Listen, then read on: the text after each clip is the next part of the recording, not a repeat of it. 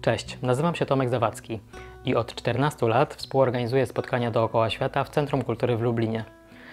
Na co dzień zawodowo zajmuję się komunikacją, a podróże to moja pasja. Dzisiaj zabiorę Was do Portugalii, kraju, który poznałem jako student jeszcze i do którego wracam tak często, jak to tylko możliwe. A- ceny biletów oczywiście nie są zaporowe. Po prostu się zakochałem. Będzie to swojego rodzaju ranking NAI i mam nadzieję, że te etapy, na które podzieliłem prezentację, przypadną Wam do gustu. Zaczynamy. Krok pierwszy, czyli południe. Mm, Algarve od przylądka Świętego Wincentego po granicę z Hiszpanią to jakieś 150 km, jak mówią, najlepszych i najbardziej słonecznych plaż Europy. I zgodzę się z tym oczywiście. Można tę odległość przejechać w dwie godziny. Tylko po co? Tu trzeba zboczyć z głównej trasy i odkrywać małe miasteczka i ukryte zaciszne plaże. Dodatkowo łagodny klimat, owoce morza, oliwa z oliwek i pyszne świeże owoce. Mm, To kolejne rekomendacje tego regionu. I nadal w kuchni, architekturze, a nawet w nazwach miejscowości z prefiksem al y, czuć mauretańskie wpływy. Faro, stolica regionu, to tutaj lądują wszystkie samoloty czarterowe z turystami, y, którzy przez kolejne 7 do pewnie 14 dni będą smażyć się na plaży. Miasto było mauretańską metropolią, a Grekom i Rzymianom służyło jako ważny ośrodek handlowy. I nawet jeśli jesteście tutaj na chwilę, bo potem jedziecie do swoich hoteli, y, albo możecie się wyrwać z hotelu, to warto przejść się uliczkami w centrum. Y, To, co rzuca się w oczy i jakoś robi się miło na sercu, to widok bocianów, które budują tu gniazda na wielu budynkach. Tawira to kolejna miejscowość na wschodzie regionu, pełna wdzięku e, mała osada e, z rzymskim mostem i sielską atmosferą. Piękne kamieniczki po obu stronach rzeki oraz miejska hala targowa, wybudowana w charakterystycznym dla południowych krajów stylu. Jest też ogród miejski z altaną, gdzie można się schować przed palącym słońcem. E, A z ruin zamku, który góruje nad całością, rozpościera się piękny widok na miasto i lagunę. Jak już się zmęczymy spacerowaniem, to można w maleńkiej knajpce wypić pyszną kawkę i zjeść coś słodkiego. Teraz jedziemy najbardziej na zachód, czyli na przylądek Świętego Wincentego, e, zwany przez starożytnych żeglarzy końcem świata, a właściwie to stał się początkiem nowego. Tak mi się wydaje. Em, najbardziej wysunięty fragment Europy na południowy zachód, gdzie znajduje się teraz latarnia morska z Muzeum Nawigacji wewnątrz, a ze szczytu klifu można podziwiać piękne widoki na ocean. To tutaj, e, mimo zakazu Arabów, jak głosi legenda, został pochowany święty Wincenty, którego grobu strzegły święte kruki. Potem towarzyszyły łodzi przewożące jego szczątki do Lizbony. Stoi tutaj też food truck i to jest ciekawostka, z niemieckimi kiełbaskami, w którym do każdej zakupionej porcji wydają certyfikat. Ostatni wurst przed Ameryką. Zjadłeś go. 6 km od przylądka znajduje się twierdza Fortaleza G. Sagres, gdzie na początku XV wieku Henryk Żeglarz stworzył ośrodek edukacyjny. E, współcześni naukowcy nie nazywają tego miejsca szkołą morską, ale jednak zgromadził tam kartografów, żeglarzy, astronomów, ogólnie naukowców i stworzył coś na kształt funduszu naukowego. Do dzisiaj nie zachowały się jednak żadne budynki z tamtych czasów, ale w nawiązaniu do historii e, tego miejsca i dla uhonorowania fundatora, budowniczowie tych bardziej współczesnych zabudowań e, wybudowali wielką 43-metrową mozaikę w kształcie róży wiatrów. Południe Portugalii słynie nie tylko z pięknych plaż, ale również z malowniczych klifów. Mm, Najlepiej wyruszyć na ich podziwianie z miejscowości Carvoeiro, jakieś 65 km od Faro. Historia tego miejsca sięga XVI wieku, gdy zatokę opanowali piraci. Stąd też wyruszają łódki na oglądanie linii brzegowej od strony wody i zaczyna się przygoda. Łódki dosłownie wpływają do wnętrza klifów, gdzie ukryte są wydrążone przez fale groty i jaskinie. Najsłynniejsza z nich to grota Benagil. Mam wrażenie, że pojawia się we wszystkich folderach promujących południowy region Portugalii i chyba się nie byle. Niezwykle malownicza i duża, jest finałowym punktem programu każdej wycieczki łódką czy kajakiem. I naprawdę robi ogromne wrażenie. Jej sklepienie zawaliło się w jednym miejscu, e, dzięki czemu do wnętrza docierają promienie słoneczne, a ukryta wśród e, skalnych ścian plaża jest chyba jedną z najlepiej położonych na świecie. E, I trzeba to koniecznie zobaczyć, bo to jest bajkowy właściwie krajobraz.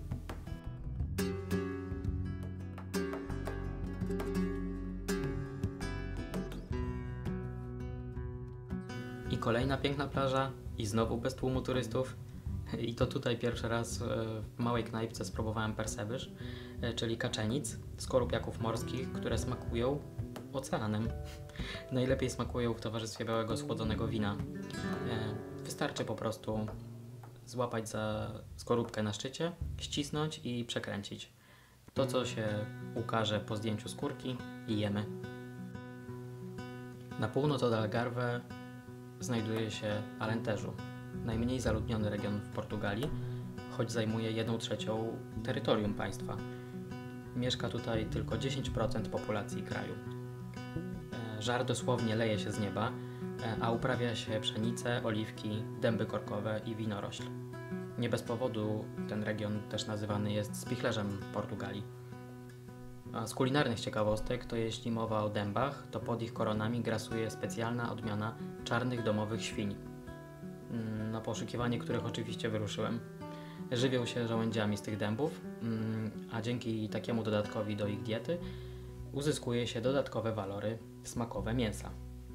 Aby poczuć klimat y, miasta lub miasteczek tego regionu, warto pojechać do Mertoli, gdzie znajdują się ruiny zamku i ruiny rzymskiego portu. Spokojna, cicha miejscowość, w południe prawie wymarła, bo wszyscy chowają się przed promieniami słońca, tylko wszędzie jest pełno jaskółek i ich okrzyków. Kolejną bardzo interesującą miejscowością tego regionu jest Beja, czyli miejscowość Naj. Tutaj odnotowuje się najwyższe temperatury w całej Portugalii i ostatnio było to 47,4 stopnia Celsjusza. I coś mi się wydaje, że słońce jeszcze nie powiedziało ostatniego słowa, ale za to miejscowość zasłużyła sobie na przydomek przedsionka piekła. I to się sprawdza. W Beża znajdują się też m.in. najwyższa zachowana wieża zamkowa na całym Półwyspie Iberyjskim, jeden z najstarszych kościołów jeszcze sprzed panowania maurytańskiego, a najcenniejszym zabytkiem miejscowości jest były klasztor niepokolanego poczęcia Najświętszej Marii Panny, gdzie znajdują się największe i najpiękniejsze w całej Portugalii azulejos, czyli biało-niebieskie kafelki. Jest jeszcze ciekawostka, to w tej miejscowości targ mięsny został zamieniony na kościół miłosierdzia. Czas na krok drugi, czyli wielkomiejski spacer. Lizbona i Porto, Porto i Lizbona. Nie sposób wybrać i dobrać odpowiedniej kolejności. Są tak różne, choć tak samo fascynujące. E, różnie wszystko, a łączy niepowtarzalna magia miejsca. Zacznę od Porto, e, bo przez te wszystkie lata, gdy odwiedzam Portugalię, najczęściej zaczynałem jej odkrywanie od przylotu do Porto właśnie. Miasto jest położone na dwóch klifach nad brzegami złocistej, dosłownie rzeki Douro. Obie części miasta spina sześć mostów. Po jednej stronie jest centrum, a po drugiej Villa Nova de Gaia, przez mieszkańców po prostu nazywana Gają. Przemysłowe przedmieścia skrywające największe wytwórnie Porto. To właśnie tutaj zwozi się, potem leżakuje w dębowych beczkach i na końcu butelkuje Porto. Tradycje winiarskie tego regionu sięgają XVII wieku. W górnym biegu rzeki już w tamtych czasach uprawiano winorośl. Niespodziewanie jednak mikroklimat tego regionu ocieplił się w 1820 roku, co dosłownie zaowocowało bardzo słodkimi gronami, a wino z nich wyprodukowane bardzo przypadło do gustu Brytyjczykom. Jednak w tamtych czasach, jak głosi legenda, nie wszystkie transportowane do Anglii wina docierały, jakby to powiedzieć, jako pełnowartościowy produkt.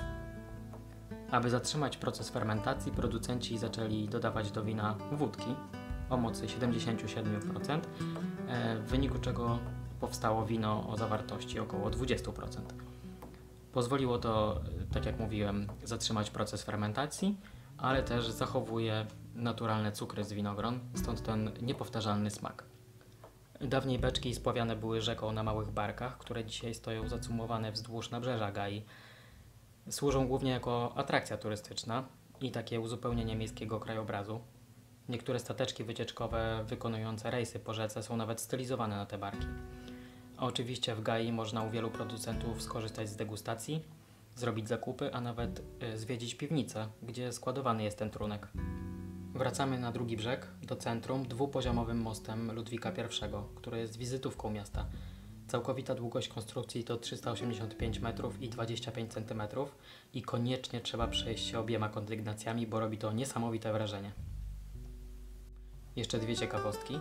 W mieście urodził się Henryk Żeglarz, a Portugalczycy nazywają mieszkańców Porto tripeiros, czyli najbardziej spolszczając zjadaczami flaków. Tripa znaczy flak. E, wszystko zaczęło się od tego, że aby jedna z wypraw do Afryki, księcia Henryka, w 1415 roku mogła się odbyć, mieszkańcy miasta musieli zbudować statki, a także dostarczyć ogromną ilość mięsa. E, sami musieli się zadowolić podrobami. No więc oczywiście musiałem spróbować tego regionalnego dania, które przygotowuje się z flaków wołowych, kiełbasek, szynki, chorizo i fasoli. E, no i muszę przyznać, że to jest całkiem ciekawa kompozycja. Sercem miasta jest Plac Wolności, a nieopodal znajduje się dworzec kolejowy Saubentu, którego poczekalnia jest pokryta pięknymi azulejżusz, ukazującymi sceny historyczne, ale też nawiązujące do winiarskich tradycji regionu. Stąd odjeżdża też pociąg do Pinião w Dolinie Douru. Mm, to jest jeden z trzech sposobów zobaczenia doliny. Drugi to jest rejs statkiem, e, tylko wtedy, gdy mamy piękną pogodę i sporo czasu. A trzecia opcja i najwygodniejsza to auto, ale do tego jeszcze wrócimy. Kolejnym ważnym miejscem w Porto jest gmach katedry, a z placu katedralnego mamy piękny widok na dachy Porto. A żeby zobaczyć najlepsze panoramy miasta, najlepiej udać się w dwa miejsca. Szczyt wzgórza w Gai, tam gdzie zaczynaliśmy wycieczkę po Porto, lub na wieże duchownych po stronie centrum.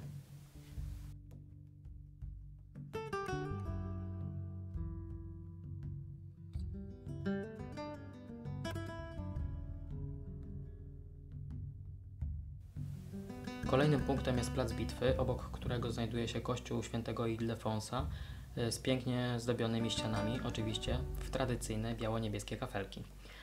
Przez miasto prowadzi też kilka tras turystycznych, po których kursują zabytkowe tramwaje i tego trzeba też spróbować.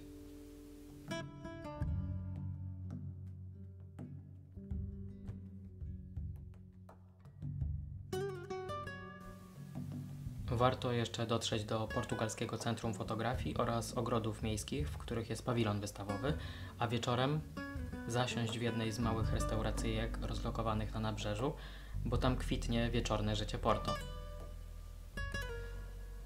Docieramy do stolicy, Lizbony, Białego Miasta i zaczynamy zwiedzanie od dzielnicy Belém.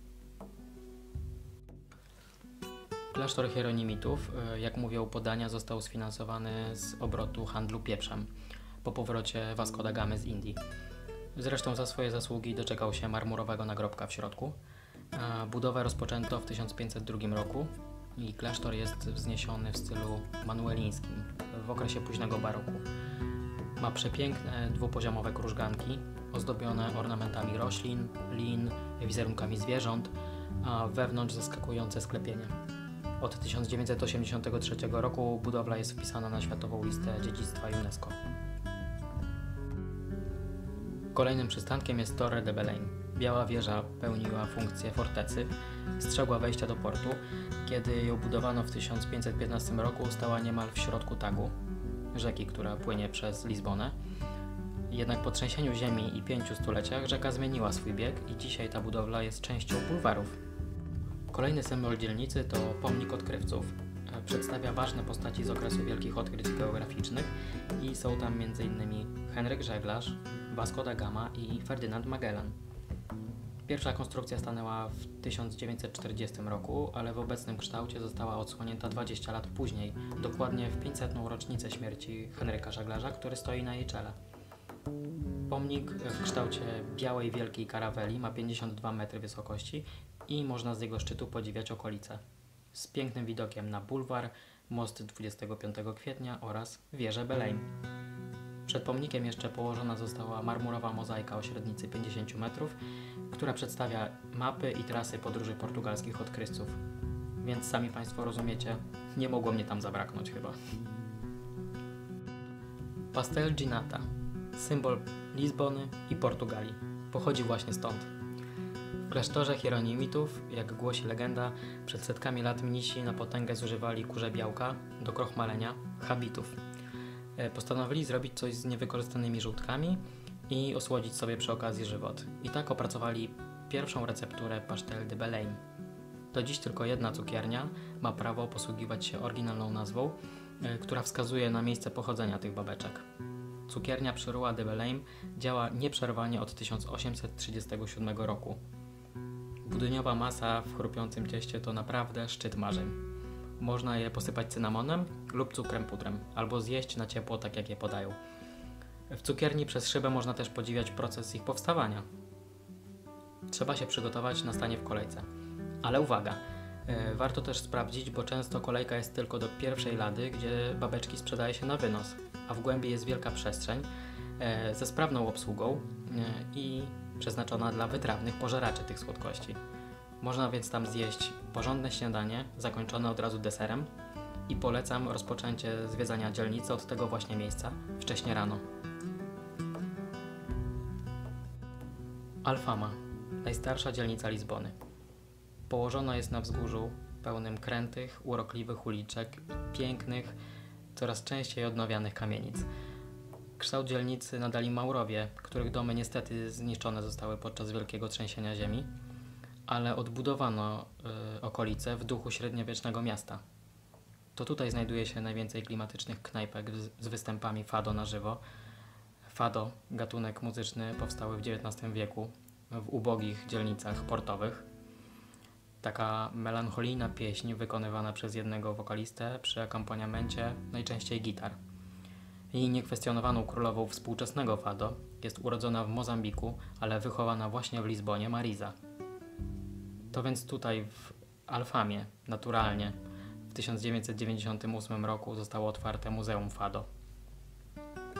Dzielnicą jeżdżą słynne żółte tramwaje e, i mijają katedrę, która wygląda jak twierdza, a w kaplicy Franciszkanów zachowała się kamienna chrzcielnica, w której ochrzczono Antoniego, późniejszego świętego, patrona m.in. podróżnych i rzeczy zaginionych. W dzielnicy również znajduje się kilka tarasów widokowych oraz zamek świętego Jerzego, z którego murów można podziwiać piękną panoramę miasta, najlepiej o zachodzie słońca. E, Nie lada atrakcją Alfamy jest też Targ Złodziei, czyli Targ Staroci, na którym co prawda trzeba uważać na kieszonkowców, ale to tak jak w każdym bardziej turystycznym i tłocznym miejscu. E, W zamian za to miłośnicy książek, e, starych bibelotów i ceramiki mogą upolować naprawdę skarby. Bajsza, czyli Dolne Miasto, dzielnica w centrum Lizbony i plac handlowy, otoczony z trzech stron barokowo-klasycystycznymi budynkami z arkadami, a z czwartej jakby otwarty na świat, w kierunku Tagu. Na środku placu stanął pomnik króla Józefa I, e, przy którym uwielbiają spotykać się zakochani. Był on budowniczym Nowej Lizbony, która została zniszczona wcześniej przez trzęsienie ziemi w 1755 roku. Pod łukiem za plecami króla wchodzimy na Rua Augusta, y, najbardziej zatłoczony deptak miasta, pełny sklepów, restauracji i przechodniów oczywiście. Y, Z wielu pozostałych ulic w Bajszy, które są prostopadłe, y, widać zaprojektowaną przez Gustawa Eiffla żelazną windę, która przez lata wwoziła mieszkańców z dolnego do górnego miasta. Bairro Alto, czyli górne miasto. E, Poza windą można się tam dostać również tramwajem Elevador de Gloria, jadącym z Praça dos Restauradores, który porusza się za pomocą liny, e, jak kolejka na gubałówkę na przykład. Są tam dwa wagoniki, które jadą w przeciwległych kierunkach i w połowie trasy się mijają. Z terasów widokowych e, rozmieszczonych w tej dzielnicy można podziwiać widoki na Dolne Miasto i wzgórze z zamkiem, ale także na rzekę. Górne miasto to też chyba najbardziej imprezowa część Lizbony. E, A jej mieszkańcy nawet mówią, że nie śpią od piątku do niedzieli i trzeba przyznać im rację. Krok trzeci i kolejny. Winnice, góry i Rzymianie. Północ. Wracamy do Porto. Jeśli nasz pobyt zahacza w Porto o czwartek, to koniecznie trzeba wstać wcześnie rano i wyjechać z miasta pociągiem do Barcelusz. Słynie z czwartkowych jarmarków, gdzie można kupić tradycyjną portugalską porcelanę, świeże owoce, warzywa, rośliny, zwierzęta i koguty. Poza ceramiką Barcelusz znany jest z legendy i właśnie jednego z najważniejszych symboli Portugalii koguta. Legenda mówi, że przez północ Portugalii do Santiago de Compostela w Hiszpanii szedł pielgrzym.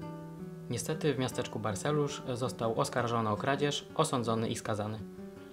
Jednak cały czas twierdził, że jest niewinny i błagał o możliwość przedstawienia swojej wersji wydarzeń sędziemu. Zaprowadzili go do domu sędziego e, i łapiąc się ostatniej deski ratunku, stwierdził, że jeżeli upieczony, podany na obiad sędziemu kogut zapieje, dowiedzie do jego niewinności. No i jak to w legendach bywa, kogut ożył, zapiał, a pielgrzym odzyskał wolność. I od tamtego czasu stał się symbolem.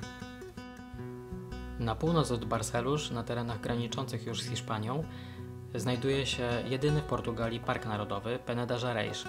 Przepiękne górzyste przestrzenie i kilka ciekawych odkryć. Pierwszym z nich jest wieś Lindozu, z ruinami zamku strażnicy, skąd wypatrywano zapewne hiszpańskich najeźdźców oraz dużym skupiskiem spichlerzy górskich, budowanych z kamienia w bardzo charakterystycznym kształcie.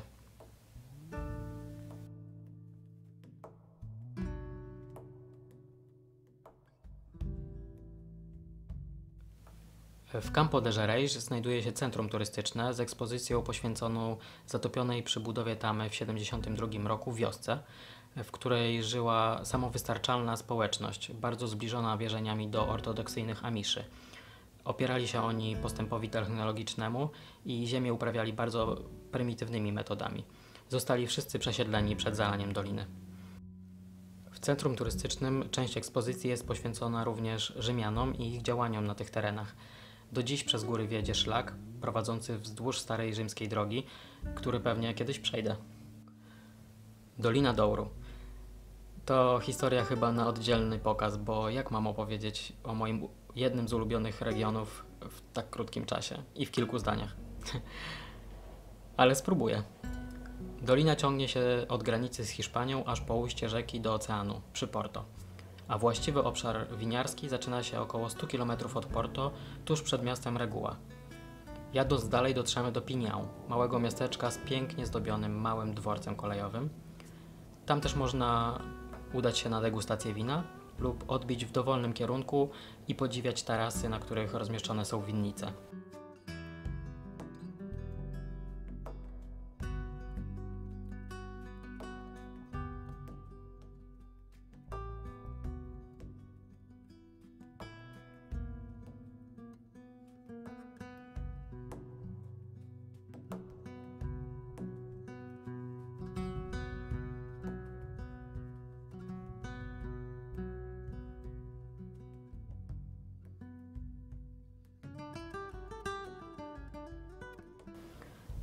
Północ od Pinię warto na pewno odwiedzić miasteczko Sabrosa, w którym urodził się Ferdynand Magellan, portugalski żeglarz, który wyruszył w pierwszą podróż dookoła świata w 1519 roku.